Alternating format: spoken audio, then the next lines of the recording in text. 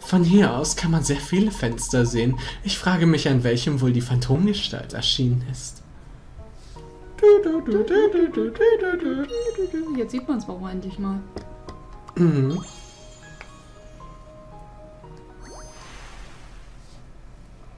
Die Gespenster im Garten. Angeblich versammeln sich Geister in den Gärten der Teerha des Teerhauses. Booster, der Butler, sah den grauenhaften Anblick offenbar eines Nachts und er hörte die Gespenster, Gespenster sogar reden.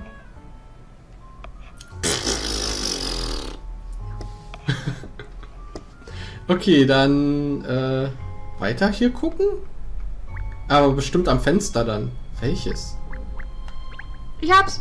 Das ist in der Mitte. oh, Äh, Das nicht. da oben. Da. Okay, gucken wir mal. Bling! Rätsel. Haben Sie das gesehen, Emiana? Nein, noch nicht. Jetzt. Gerade ist eine Phantomgestalt erschienen. Es gibt keinen Grund, sich so sehr darüber zu freuen, Catria. Nun mach, sieht ja nicht jeden Tag ein Gespenst, oder? Wir haben richtig Glück. Ich persönlich würde lieber im Lotto gewinnen. Oder vom Blitz erschlagen werden. Guten Abend, Ma'am. Noch eine Sichtung, glaube ich. Booster! Sie haben mich schon wieder erschreckt.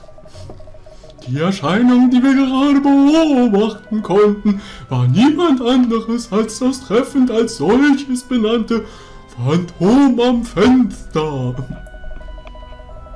Die Gestalt, zumindest ihr Umriss, sieht ganz anders aus als ein gewöhnlicher Sterblicher, fast wie bei diesem Rätsel. Oder, sie, oder die Angestellten inszenieren das, damit Leute kommen, um Ihr Gesellschaft zu, zu, zu leisten. sehen und so. Seltsame Silhouette. Hinter dem Vorhang ist eine Silhouette von irgendwas. Sie stammt von drei Statuen, aber von welchen? Du musst noch das ändern. Was? Achso, ja, dann, dann los. Äh, weiter. Äh, schaue dir die fünf Statuen an und wähle aus, welche sich hinter dem Vorhang befinden. Welche sich hinter dem Vorhang befinden. Die Statuen können sich können nicht auseinandergebaut und müssen als Ganzes verwendet werden. Keine von ihnen hat eine besondere Rückseite. Mhm. Okay, drei Statuen. Mhm.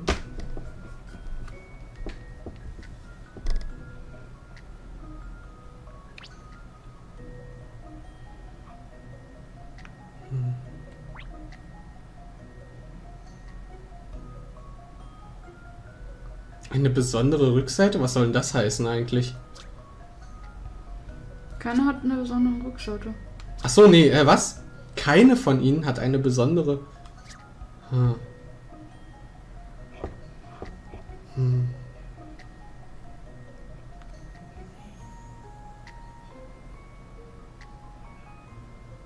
Verdammt, Hm. aber es war doch richtig. Moment. Ich hätte gedacht, ich hab's richtig. Hm. Ach, nee, stimmt. Verdammt. Dann müsste es die sein. Ja. Wie gemein, du hast ja jetzt so was falsch gehabt Ne. erst. Ja, aber ich habe ja, ich habe mich halt verklickt, weil ich habe halt einen Sachen nicht. Guck mir nicht so an.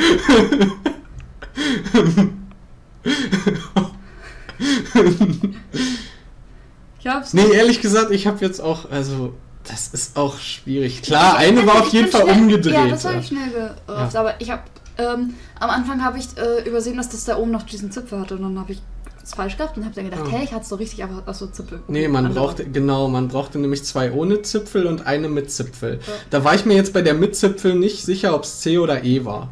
Nee, das wusste ich. Ich hatte am Anfang gedacht. Äh, Also A, dann, dann habe ich aber gesehen, Ja, okay, der eine hat Nee, einen Arm ich- in der Mitte nee, und der. Ich, ich habe gedacht A, B und D, weil das hätte gepasst. Ah. Bis auf den Zipfel und dann habe ich den Zipfel noch, äh, habe ich danach gemerkt, oh scheiße, der Zipfel fehlt und dann halt C. Ah, okay. Naja, gut. Wieder ein Punkt für Sie. Ja! Ich will heute auch nochmal gewinnen. Nein. Doch. Durch die Anwendung von Logik lässt sich wirklich jedes Rätsel lösen.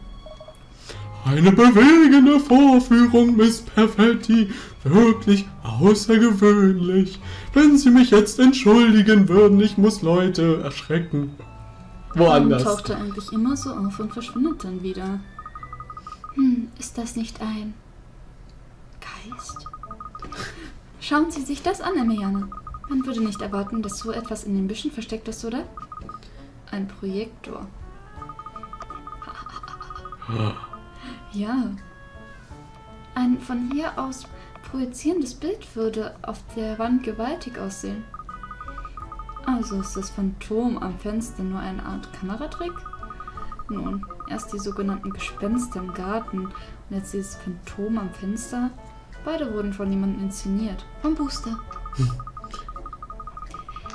Was heißt, dass auch die restlichen vier Geschichten über unübernatürliche Phänomene sich als Fälschung herausstellen könnten?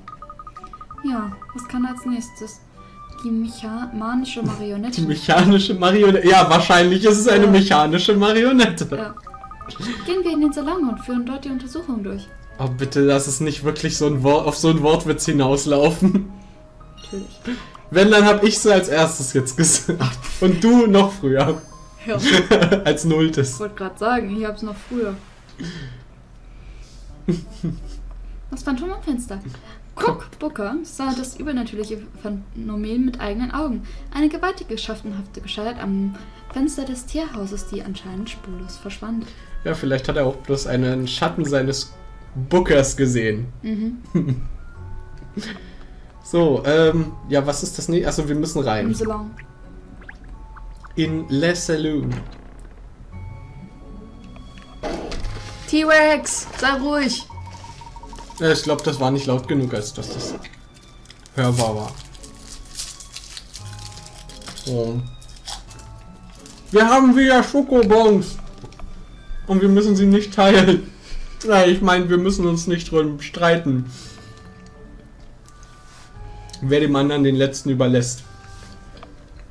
Hm. Da wären wir also wieder drin, Miss.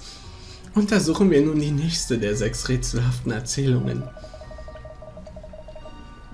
Hier sollte sich doch die Mario. Das ist die Mario! Sollte sich doch diese manische Marionette bef- befinden, oder? Ja, sie soll sich von allein bewegt und hämisch Oh. gelacht haben.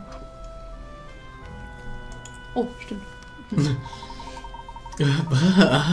Und wahrscheinlich ist sie genau äh, irgendwo hier drin, während wir uns unterhalten. Wisst ihr, ich habe sogar das Gefühl, dass mich jemand mit Blicken durchbohrt. Booster! Noch einmal guten Abend. Ich vertraue darauf, dass Ihre Ermittlungen vortrefflich vorankommen. Meine Güte, Potzblitz, Sie haben mich ziemlich erschreckt, Booster. Oder äh, Solamasch ist, um Gesellschaft zu kriegen. Und Booster deckt sie nur. Und die alle tun so, Wer weiß. als äh, würden sie sich erschrecken und sowas, aber wissen eigentlich, was los ist. Mhm.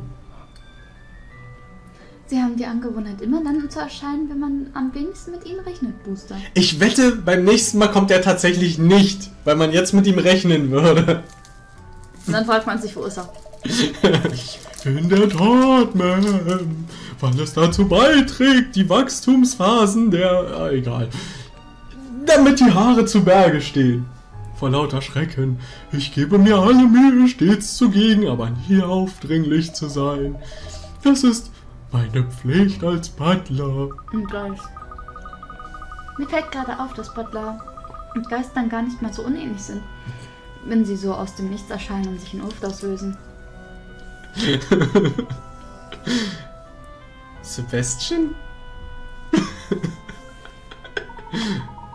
Vorsicht, Miss, er könnte dich hören. Der Butler? Ich wollte gerade sagen. Ich wünsche Ihnen viel Glück bei Ihren Ermittlungen, Ma'am. Na gut, wollen wir mal sehen, was wir über diese manische Marionette herausfinden können. Wo ist sie denn nun? Na da. Irgendwo. Die Puppen. Uh,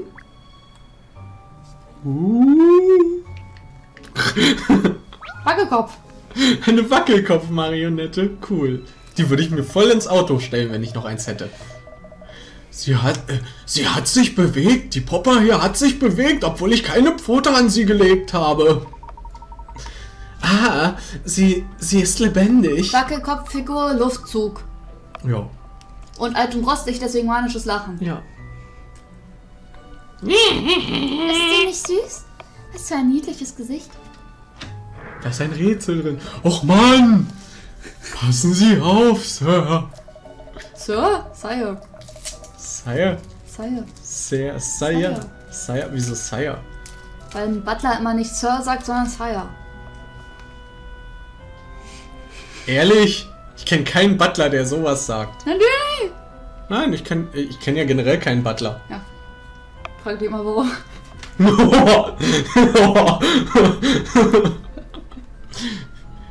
Weil ich meine Hausarbeit selbst machen kann. Dann würdest das würde rechtfertigen, dass du keine Putzfrauen kennst. Woher willst du wissen, ob ich keine Putzfrauen kenne oder vielleicht doch?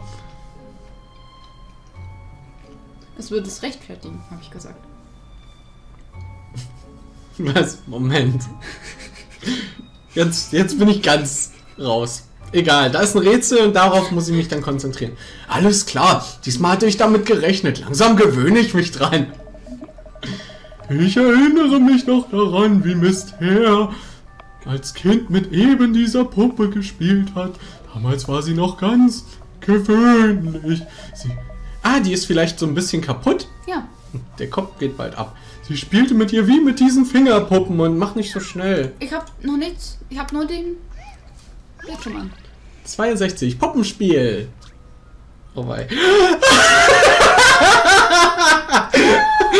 Fingerpuppen. Mäuse. Mäuse. Aber Fingerpuppen, das, das erinnert mich gerade wieder an was. Was? Tendocast. Nein. Nein. Ah, ah. Ah, ah. Okay. Bei diesem Puppentheater werden Fingerpuppen an zwei Händen verwendet. Du musst die Puppen so bewegen, dass sie, äh, dass sich auf jedem Daumen eine blaue und auf jedem kleinen Finger eine rote befindet. Eine Puppe kann sich nur an einen leeren Platz der anderen Hand bewegen. Aha. Und zwei gleichfarbige dürfen, zwei gleichfarbige dürfen einer Hand nicht nebeneinander liegen. Berühre die Puppe, die du bewegen möchtest, äh, an den Finger, an denen sie. Moment, wie war das? Äh, die roten sollen dahin und die blauen. Okay, das sieht man ja da unten. Okay, alles klar.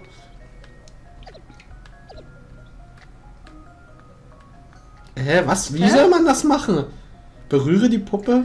Ach so, du machst, kannst das glaube ich nur von einer Hand zu anderen machen. Ja, eben, ist ja. Aber das kann ich auch nicht. Das geht nicht. Nee, weil du darfst dann eine Farbe nicht zu anderen machen. Ah, ja, ja, okay. Ach so. Darum ging's. Ach, das ist ja genau dann.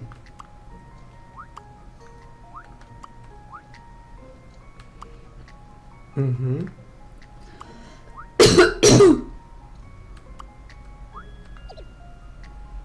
Jetzt habe ich die ja wieder falsch. Ach